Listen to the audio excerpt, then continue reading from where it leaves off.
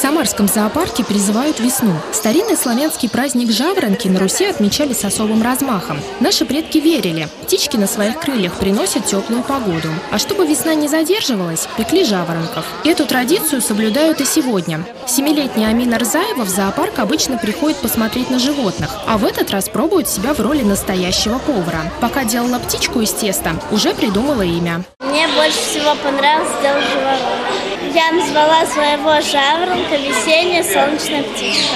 Праздник в Самарском зоопарке устраивают ежегодно. Это уже стало доброй традицией. Для юных гостей приготовили игры и познавательные рассказы о пернатах. Такой интерактив для ребят только на пользу, отмечают родители. Ребенок у меня остался в восторге от мастер-класса по жаворонку и в таком чудесном месте, потому что не всегда получается прийти в Самарский зоопарк как здесь очень много и животных, и сплочения, и информация для ребенка, мне кажется, довольно-таки хорошая. Жаворонки – первые птицы, которые возвращаются с юга в родные края. Жаворонки прилетели к нам в область примерно неделю тому назад. Э, то есть весна с этой точки зрения наступила.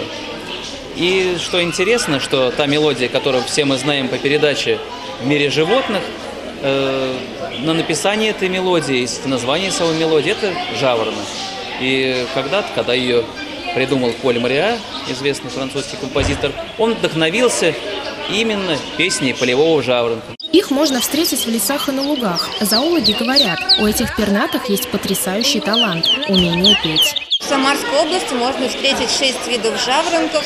Это не очень приметные птички, чаще всего не яркая окраска у них, зато у них очень красивая, э, приятная песня. И если вы будете выезжать на природу, то ранней весной на полях можно услышать именно песню жаворонка. Для того, чтобы сделать выпечку в форме жаворонка, сначала раскатываем тесто в жгутик. Теперь мы жгутик завязываем в узелок. Одной стороны у нас получается голова птички, а с другой стороны хвостик. Далее мы хвостик надрезаем. А голову украшаем гречкой. Вот такой жаворонок у нас получился. Теперь можно смело встречать весну. Чем румянее получится выпечка, тем удачливее будет год, верили наши предки. Сегодня свежеиспеченные жаворонки достались не только посетителям, но и обитателям зоопарка. Задабривать животных – еще одна добрая традиция в зоопарке, чтобы ускорить приход весны. Ксения Баканова, Николай Епифанов. События.